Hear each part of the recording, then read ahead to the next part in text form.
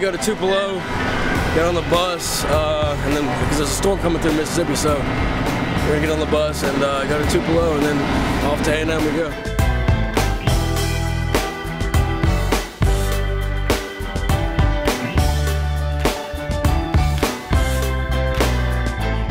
Instagram, and it's kind of a tradition that we do. Fleming falls asleep within the first 10 minutes of every trip.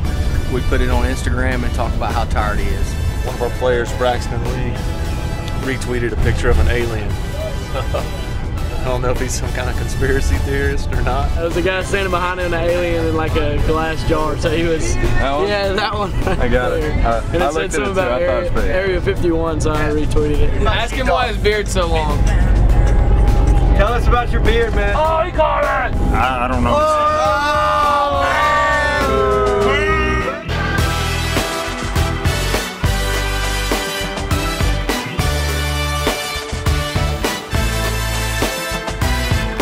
Just got on the plane, heading to uh, College Station. Um, you I'm just gonna sit here and listen to music, I guess, and uh, try to make this ride as quick as possible. We uh we hold each other, so uh, and you know try to yell and say say jokes and stuff, so that you don't get nervous about uh, crashing or anything like that. Please recheck that your luggage is stowed in the a compartment or in the seat in front of you. That your seatbelt is fastened, and I hope you have a very pleasant one hour and 20 minute flight.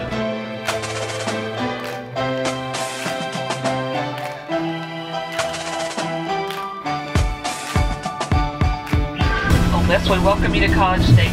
On behalf of ADI and your entire flight crew, I'd like to wish you a very good luck, and we look forward to seeing you. Thank you. It's about an hour and a half flight. We just landed in College Station. Um, we're about to unpack the plane, head to the hotel, and then we'll get to their field and finish up the day with a good practice and get a good night's rest and play some good baseball this weekend. Hope we go eat.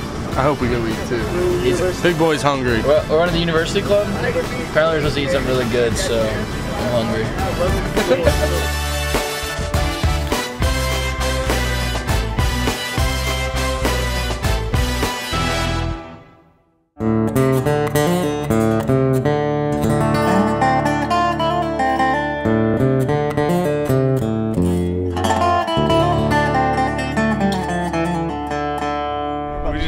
go eat. Hopefully get something good. Hopefully Colby doesn't eat it all, but we'll see. Not sure where we're going though.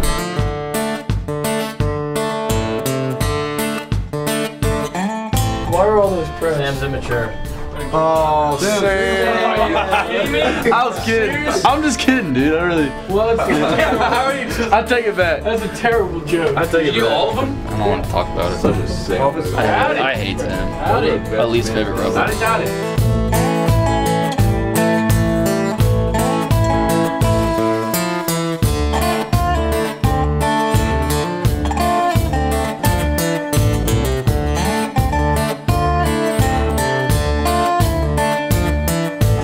pretty good. Pretty good carb load for the weekend. I'm excited about it. It's really good. And the view's nice. Uh, it's pretty good. We got a little bit of chicken, bow tie, noodles, and some Alfredo. Everything's brown. In Texas? Yeah, look at all the buildings. They're all brown. Everything's sandy. A lot of stucco here. I don't know if I like that just yet. Everyone's got their own TV show. Oh, no, please. All right. Bye. Uh, we're gonna check into the hotel, and then I think we got a little bit of a break. Then we got practice after that. Um, we're about to hand out room keys, and you're about to see a panic because everybody wants to know who their roommate is. And it gets rather interesting. Matt Denny. I'm so pumped. Good pillow talk and all the usual for the road trip. I'm excited. He's a good roommate. Unfortunately, Scott Weathersby. Pretty much his daddy. I tell him what to do. I have to make sure he showers every night so he doesn't stink up the whole entire room. It's, it's, it's brutal. Hey, I gotta pick the movies, make sure they're PG. I'm more excited about rooming with JB again. We got the best combination, wouldn't you say? 100%. Never had a bad time. JB has trouble sleeping in his own bed when he goes back home after rooming. I've learned over the years that if you take the stairs, it's about 10 minutes quicker because everyone is waiting on the elevator and it usually takes a lot longer. About to take a nap and then head to practice and uh, have a good time.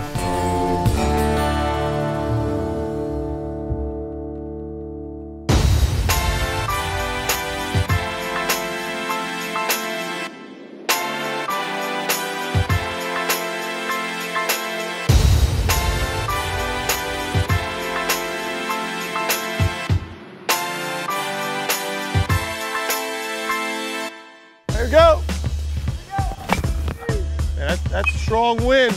Ah, some top spin, strong wind. I was talking too much. He can't outdo me, and I'm 47. Well, how, how about like maybe, uh, you know, getting him to do some yoga or something? Like this is the day you say, man, I'm gonna work on hitting line drives right through the shortstop's head. We're more likely to get them if we just show them some poses and stretches versus have to sit there for 45 minutes and breathe and do all that. I've raised our fungo game quite a bit since I've taken over the left side. Excuses don't have to be fiction. They're just excuses. You got like a 37 ACT. Come on. How much you know, how much you know about yoga? We got two rookie fungo guys today just really not getting it done. You know, sometimes you got to share the wealth. You got to let people grow up and figure it out. If it's be yoga, but something. You just say that's what you do every day.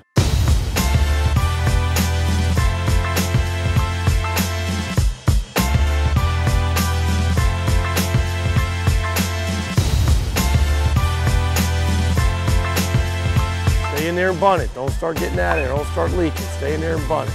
Better. Try to get it open faster instead of, right? Just try to leave it open. Get it down that line, E. Get it down that line, buddy.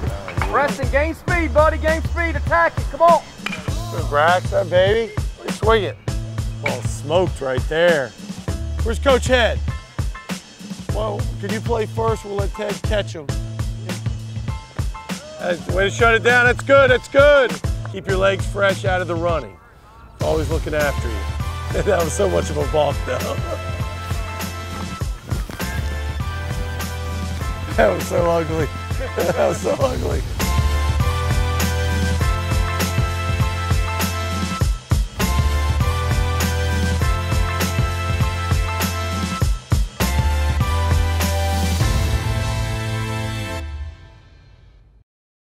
You know, coming into the series, I think, uh, you know, you look at their record, 13, 14 in the league, and it can be, a, I think, a little misleading.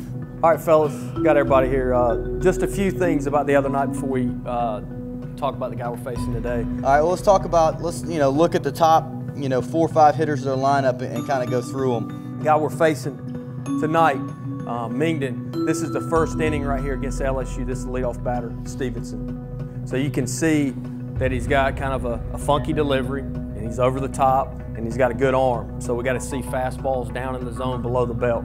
Lankford, uh, their best hitter, you know, first baseman, swing plus, fastball in and out. He ended up pitching a complete game against LSU. So when we get our opportunities, we got to cash in. The guy's a good pitcher. Runs all right, you know, says patient with good strike zone discipline. The keys to tonight, just like every Friday night in the SEC, win pitches, execute, hit in the clutch, score five runs or more, and you'll win. I think they're a pretty good overall offense. I think they can swing. I think you have to, you know, make pitches to them, but I think they are pitchable. We're on the road. We've got to score some runs, and let's execute when we have those situations. It happens every year that somebody wins the Southeastern Conference, all right? Somebody wins the SEC West. You're in that position. You've been in that position for four weeks, and you've been up sprinting towards the finish line, all right? You got to have quality at bats and good at bats.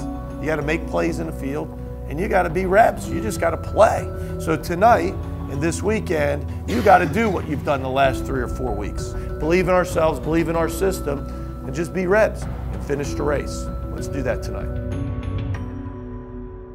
Going into the weekend, we knew um, if we won two games that we had a good chance at, uh, you know, just winning the West. We just really want to focus on game one, just getting out there Thursday night, um, just winning pitches and doing the best we can. They are filing into Blue Bell Park for the opener of what is a very key series within the Southeastern Conference, and it actually closes the regular season. Welcome to College Station, where tonight it is the Ole Miss Rebels and the Texas A&M Aggies.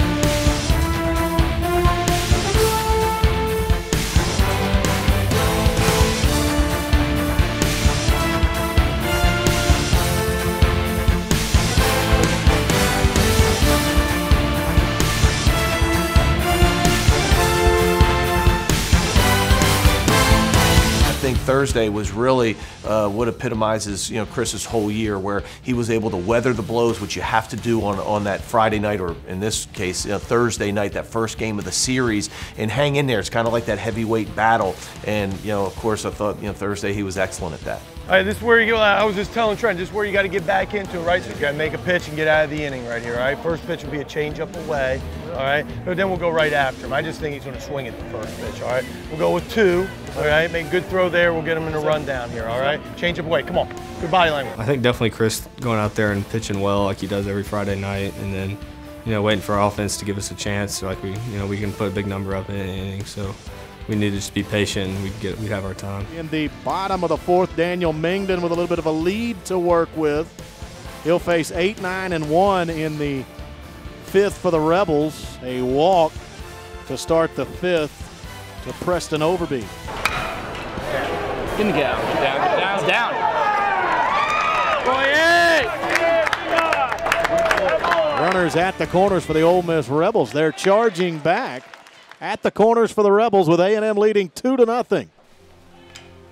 Breaking ball could be two, but it will score a run. High throw to first base and into the dugout. Moving to second will be Braxton Lee. That's a run for Ole Miss and an out for the Aggies. It's two to one. Boot me. That is off the body of the first baseman. Cole Lankford. A run is home. Game is tied, and they'll move up to the corners. Scoring is Braxton Lee. Now at third base is Austin Bousfield. Even up at two. Get out, ball. Get out, ball. Get out. Oh. But the Rebels will have the lead, and they've got a man at second base as well. Scoring is Bousfield. Sacrifice fly and an RBI off the bat of Will Allen. Three to two. Ole Miss top bottom.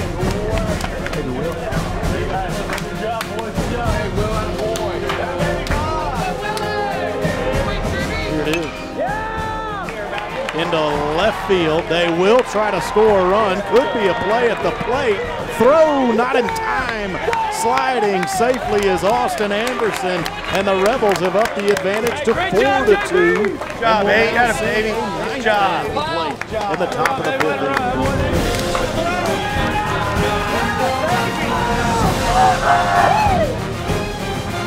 Softly hit ball at the shortstop. Not at all an easy play for Blake Allemand, and that is all he could do with it. Hard hit left field. Five to two, and they'll try to make it six to two. The throw is back to second base. Safe there, and two more runs scored. Rebs are running.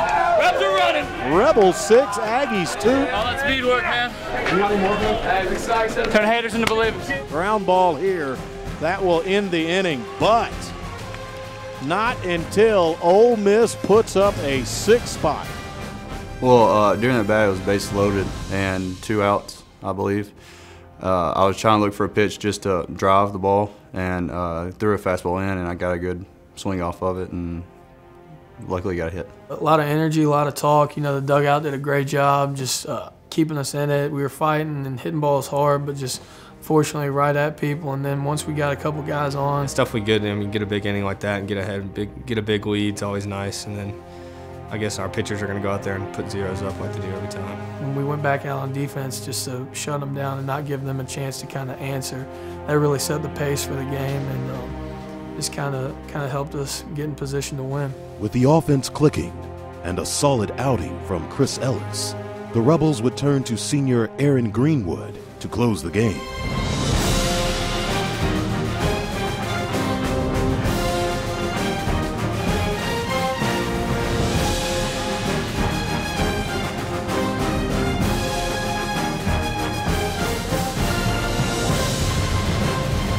And that is the ball game. Ole Miss wins it 8 to 4, one step closer to an SEC West title.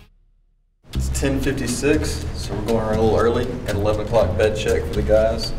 Give them a little information on tomorrow, let them know what's going on, make sure they're in the right place. Strength band's going to make sure they're uh, doing what they're supposed to be doing. If not, he's the, he's the enforcer. enforcer. Might crack some heads if we have to. Sounds good. They're usually pretty good, so should be easy.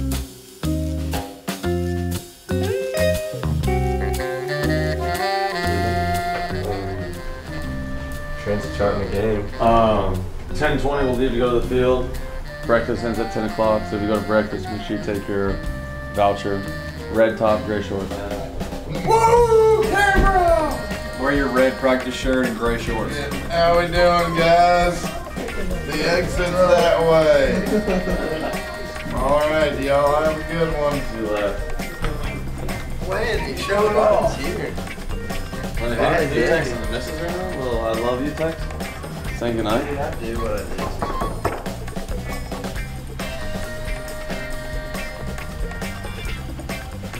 do. Errol.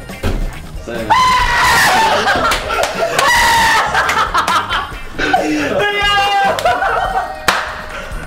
Oh, welcome to the crib. We scare them. Night, night. Going to bed.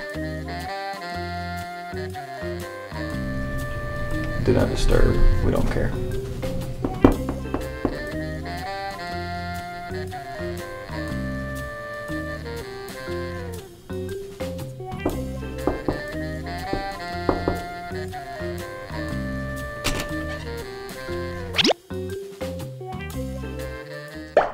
Hey, sorry, we had the wrong room. Totally apologize for that. No worries. That's never happened before. I'm gonna blame that one on him. All the rebs are accounted for, done bed check. Got a big day tomorrow. Got a big game against the uh, Aggies tomorrow night, so gotta get some rest. See you tomorrow. Peace.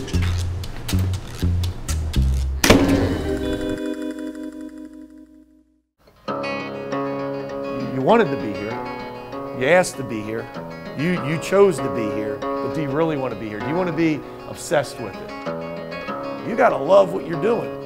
We have. You guys have shown that obsession and that passion to show up every single day, you know, with energy. And so the message is this is us, man. This isn't a mirage. This isn't a hot streak. This is us. Just be us. All right? Just be who we are. Just keep doing what you're doing. Keep being obsessed. Keep having that confidence, that energy. Keep being a leader. Keep doing what you're doing. All right? And tonight, SEC West. Let's go get it.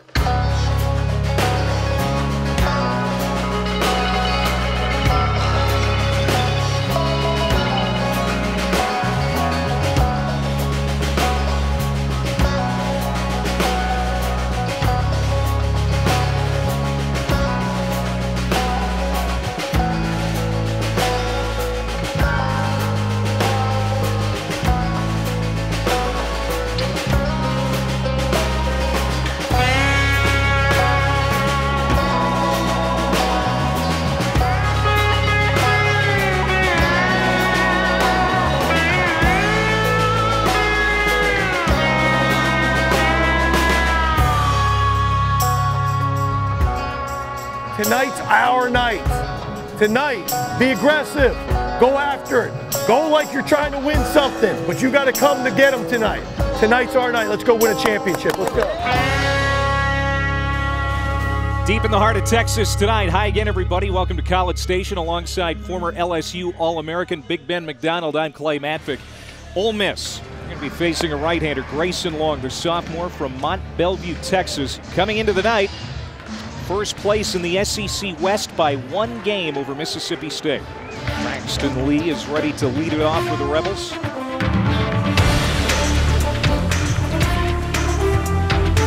Way offline and not in time. It's a stolen base for Bousfield.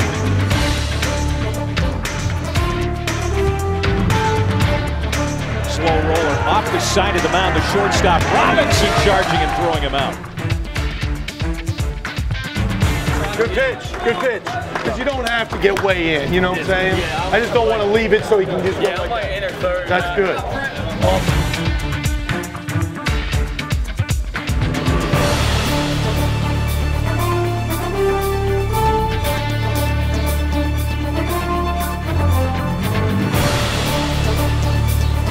Coming around to score is Robinson, and Ole Miss takes a one to nothing lead here in the third inning.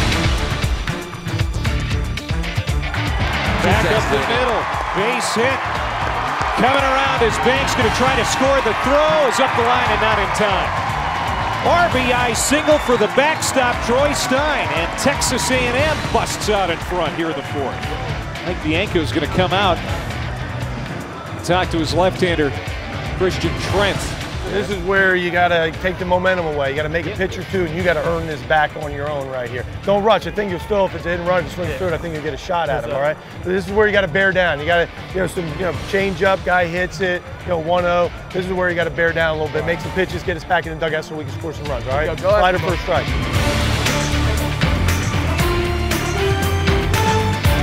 to center. Bousfield makes the catch. A&M strands two, but they score two. They feel good. All right. And uh, so don't let it, you know, unravel on you. All of a sudden, you know, at the bottom of the lineup, we talked about that. Bottom of the lineup, now we'll start to run some counts where I want to attack him and get off the Right, field. right. You, you know what I'm saying? Getting to 3-0, 3-1, 3-2, and all, you know, all of that, all right? Keep battling, keep making pitches. Everybody, come in here. All right, I, I- I know you know it. We're playing for a championship here, right? I want the body language. Like, did, did you look like you're going to win? You know what I'm saying? We've talked about this. This is the time to put the foot on the gas pedal.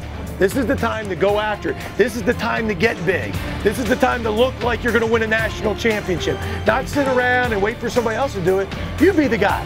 All right, if it's if it's to be, it's up to you. It's up to me, right? Somebody be the guy here. More body language, more energy here. Rest of the game. Let's go. And we played five, 2-1 Texas A&M. Good baby. Keep battling. Allen with his second hit here tonight to lead off the sixth. J.B. Woodman at the plate.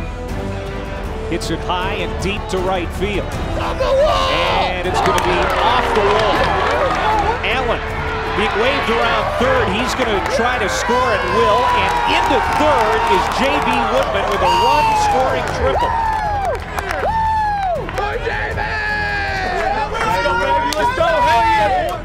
Now we'll see what you do with Woodman. He runs like a deer, so it doesn't surprise me that they're going to run even on Bratson's arm. And it's 3-2 Ole Miss oh, as Jamison scores him with an RBI sac fly. Good job, 12. Way swing, big man. Give me some, 12.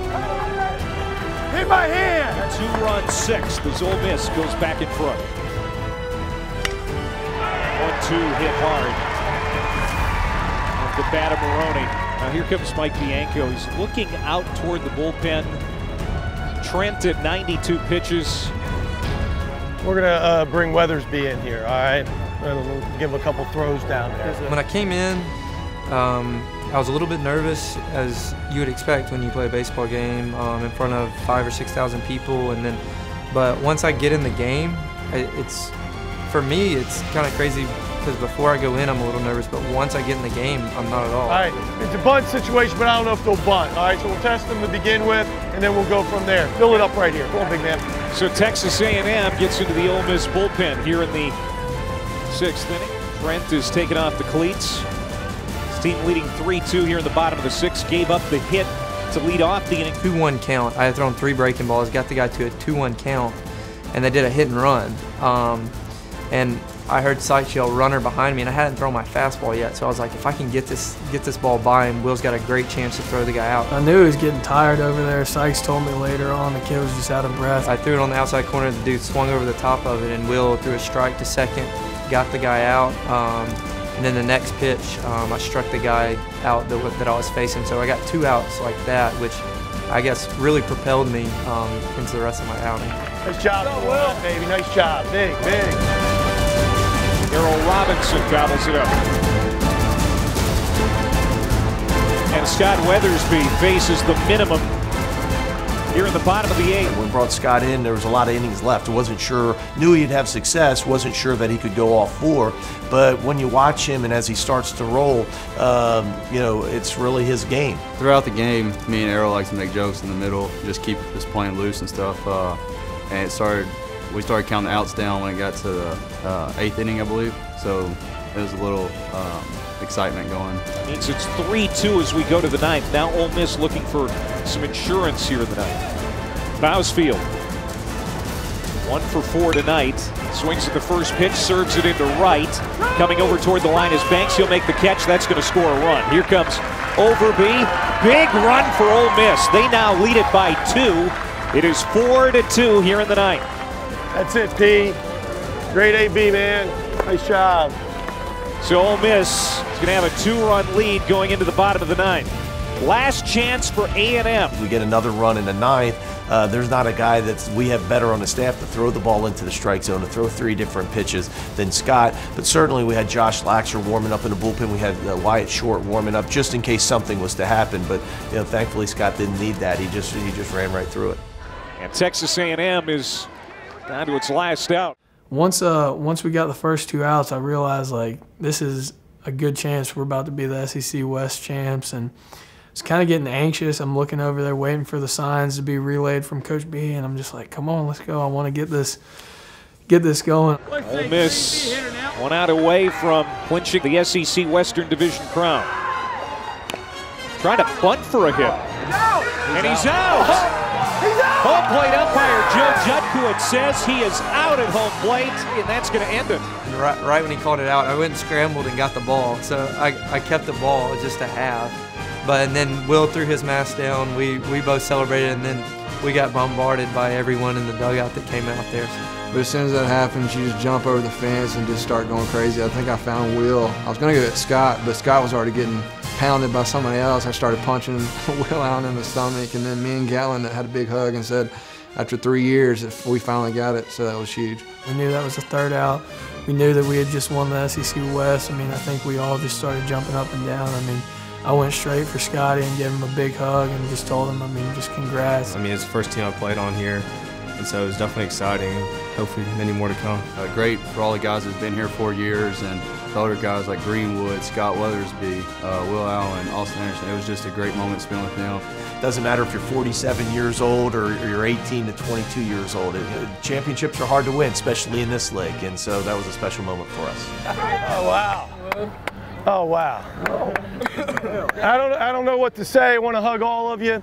Uh, you know, great game, and you know it's one it's one of those. And one of the reasons that we're where we're at is because we can win all kinds. We can we can out hit them. We can steal base. We play defense, and certainly we can pitch our butts off like we did tonight. Where's Mr. Weathers Weathersby?